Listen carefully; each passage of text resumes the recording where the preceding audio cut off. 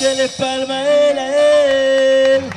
dele tu mejor adoración a él, a él. El Cristo que adoramos es un Dios poderoso. Levanta tu mejor adoración. Él está